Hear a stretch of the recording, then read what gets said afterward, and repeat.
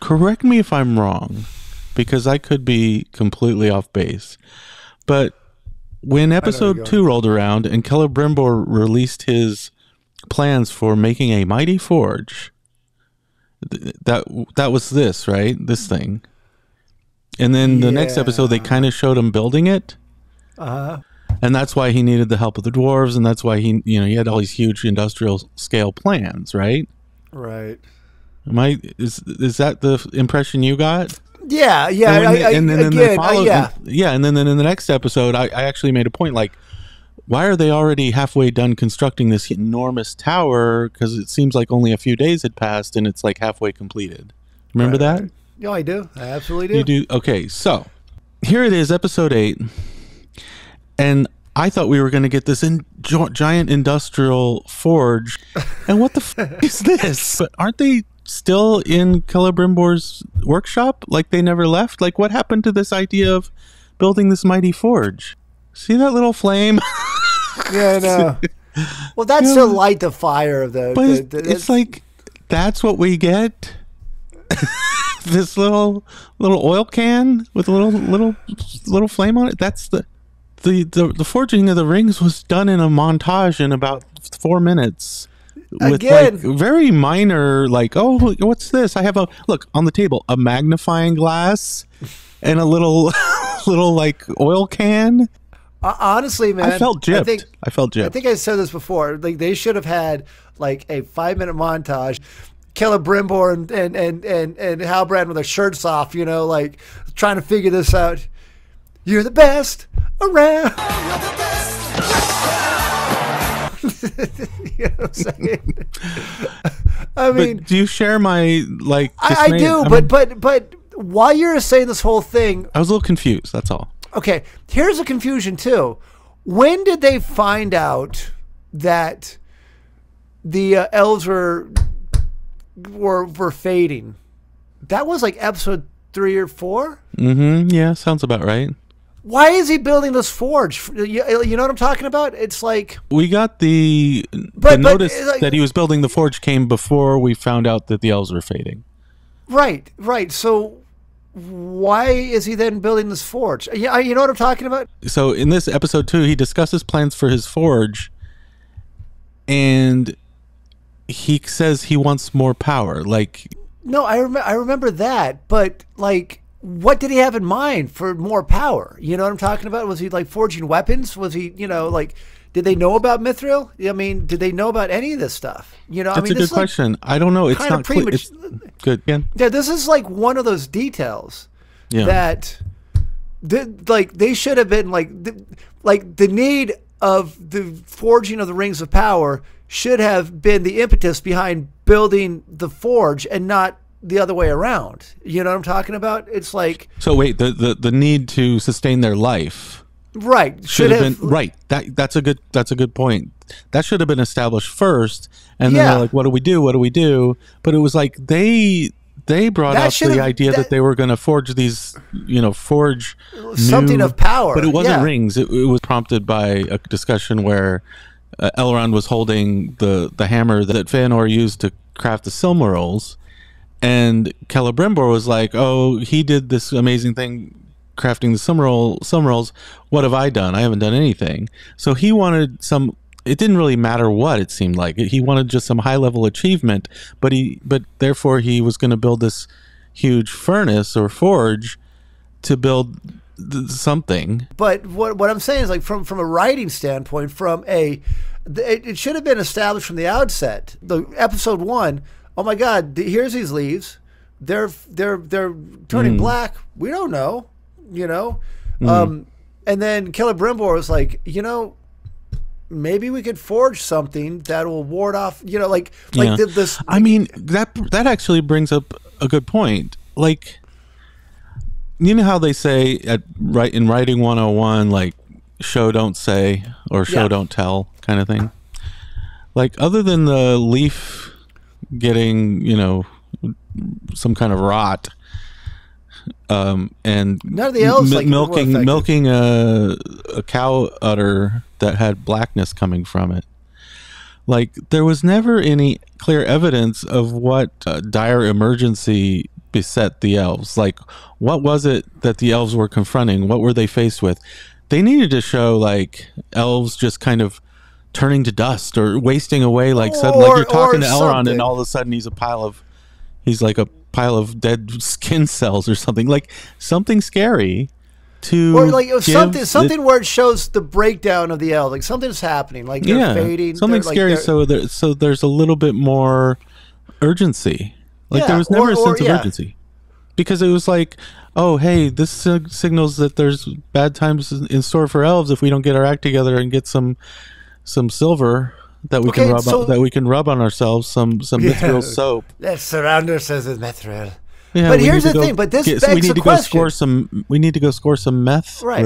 But but this begs a question. Not a bad idea, right? uh, you Hmm, know, to, to no. show, but shitty execution. wait. The, right. The the idea of what? The idea The that idea, the idea that the elves are fading, and that's that not a bad like, idea. That's not a bad idea. Yeah. But the execution of of of the solution Hmm. was was stupid. You know what I'm saying? Like the whole thing. I mean, they- they're trying to be way too clever and, and cryptic, right? Yeah. With the show when it doesn't need to be. First, it was like, oh, as as long as we can kind of like be near Mithril, it will it will so- solve our problems. Okay. Let, let me Right. let's trace let's trace the logic here. Why did they need to get in, get in touch with the dwarves in the first place? When Elrond was sent to uh, Khazad-dûm, Um, it, it was like I I have the Celebrimbor was like I have these great plans right, to build right. this forge, and I need something from the dwarves. They, well, they needed the dwarf labor, right? I mean, they needed the That's dwarf what I thought. know-how. Like they needed help. They bu- needed help, They yeah. needed dwarven help to build this thing, right? And then somehow this is again this is terrible writing. Like magically, the in going to get dwarf labor, they found that the dwarves actually have the one thing on Earth that can keep them alive, Methril. Mm-hmm. you know, I mean that in itself, and then the Methril, they they wish they could have lots of it, but then they realize, oh, they could only have a little chunk of it. If, and this is this is what we learned in episode eight, th- that little chunk could go a long way to help the elves if they somehow craft a device that, like a self-perpetuating device that amplifies the power of the Methril. Mithril. Right. I'll just call it Methril Yeah. right? And then they said this. Um, Celebrimbor said, probably getting some of this information, this science from Sauron himself, but he was talking to Gil Galad and he was saying um, they need to make it a circle. At first, they thought it would be a crown. The circle would allow the light to arc back upon itself in one unbroken round, building to a power that is unbounded. And did you remember that that line from? Yeah, oh, yeah, I remember Yeah. that. I'm, I'm, But- I'm trying to like. But I'm like, does that light behave that way? I mean, if there's if there's light, let's say there's light coming, there's light in Mith- Methril. There's light. There's light of the of Valinor in Methril, inherent in Methril. Yeah, you put it in a circle, and does the light zoom around and get faster and faster and like build like? Uh, maybe, maybe. No. but uh, but, but here's yeah. I mean, it again, again, like like it's an idea. It's an idea, right?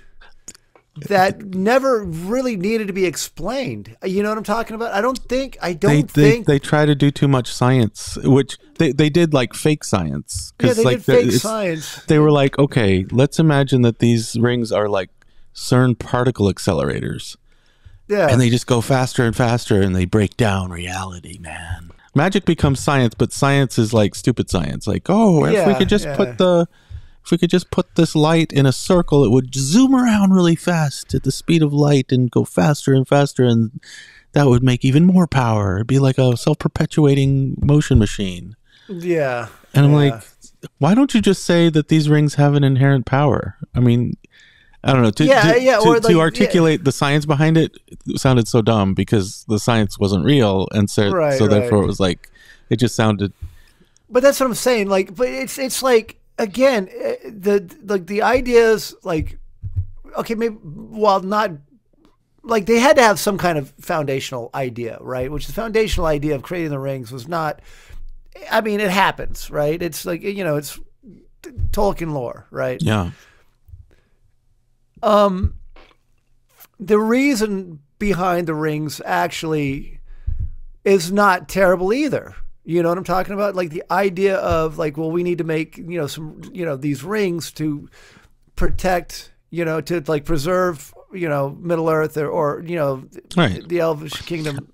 I mean, it's like, But but but the idea that like it has to be tied in with Mithril is is stupid. You know what I'm talking about? I mean, right. like that whole like or, or, you know it's like It was they they had to overly complicate everything. yeah yeah yeah like everything's yeah. an overcomplication in order to make eight episodes out of something that could have just been done in one or two. It seems like I don't know it, they, But- they, they they the rings like uh, the Lord of the Rings trilogy like when you add it up it's about like 10 hours or whatever so I mean Right, but it but it's a it's a substantial piece of work. This Right. is like they're they're not they're not saying anything that's like really that really feels substantial. It just feels like a bunch of bad excuses for every Yeah. everyone's action seems like a bad excuse i- Well, I instead mean, of like an actual story. But but again, this goes back to like what what our second or third episode that we were talking about the second or third episode where we're like there just seems like a lot of like coincidence that Yeah. you know coincidental things that have never fully explained. Like they never was fully explained what uh, Sauron was doing in the middle of the Sundering Sea.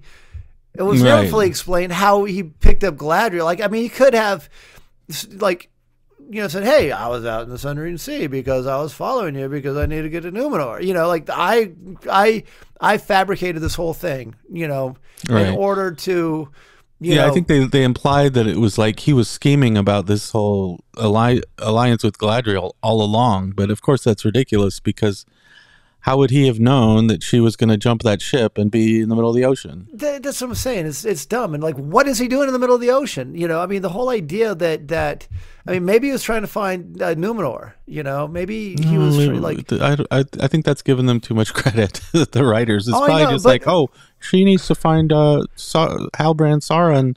Uh, I know they could just meet each other randomly, Yeah, like in they- the supermarket. Like, yeah, I know. It's like, like it's not there's not other. any real justification it, it's not like a real story that has real like agency you Look, know I would. I I mean, honestly, I would. I would. I would have given it more of a pass, right?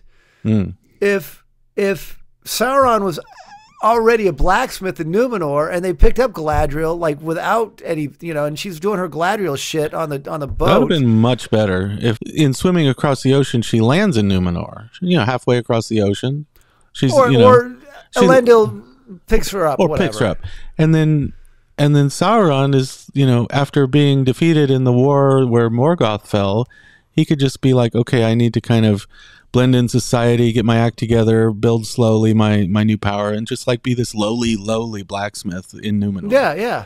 or anywhere. And Yeah, just like I mean, oh but- we need a blacksmith and oh hey who are you? Oh I've I've come I need to get my sh- my horses reshod. Galadriel will be like I I love my horse I need to get it reshod. And and and Halbrand looks at this horseshoe and be like it's not right. It needs to be fully closed like Fully closed. horseshoe. But ring But do you understand? Like the thing is, though, is like, like you could explain away, like, like, like, like, like if Halbrand met Galadriel in Numenor, you could explain away, like the coincidental nature of their meeting because it would be like, oh, like a new opportunity for me, it- Sauron, to hmm. like make it over to Middle Earth. Here's someone who wants to get back to Middle Earth. I can hmm. help her get hmm. back to Middle Earth. You could explain that whole Right. like I will like he could be the one. I'm willing to steal a boat for you, girl. You know, Yeah, people who are who have amazing powers, like a Sauron or a Galadriel, they're not normal, right? In according to the books, like these are Right. powerful beings. So, in a big population like in Numenor, these two people are gonna hear about each other or run into each other at some level, even if even if Sauron is like disguising himself as a blacksmith. You know, Right. he'll distinguish himself somehow, and he'll hear about Galadriel, this new person that was shipwrecked on the island, and they'll end up meeting, right? And Right, that right, will and- make and- much more sense because it's like cream rises to the top. You have the f- powerful people are going to end up like recognizing them in a crowd, each other in a crowded room right, and that's how the- they come together and so that makes sense but to have them meet randomly in the middle, of, ocean, nowhere it doesn't make sense But that, would- like I said, like that, the idea that that that Sauron would would would like Galadriel lands, everyone like the whole isle would be buzz like, oh my gosh, we found an elf. What uh, what are we? Uh, what are we gonna do with her? And then and then uh, you know Sauron's like, what an elf? I'm gonna go. Ch- oh damn, that's Galadriel. Because like he would Right. have to know who she is. You know what I'm talking about? he would make it his business to find out mean, like but who's he- this and then he, he- therefore he, fought her. He fought her brother. I mean, they. Yeah. I mean, Galadriel would be known, I think, by like uh, she. I mean, she's a. In, in she was in a Yeah. war with the you know Melkor and you know all that stuff. But the point is, is it would have made way more sense, and it would have like not changed the fact that they would form an alliance and they end up in Middle Earth. You know what I'm talking about? yeah. And then they end up. we're in giving them way or- too many good ideas that they I know we should. will never we should use totally write this thing. anyway, but yeah so Yeah, we're like we're rewriting their damn story. Like, okay, that's five five bucks, five bucks please five dollars for my ideas. Anyway, no, that, so that was clearly a better idea than what they provided their their idea was super problematic yeah, yeah.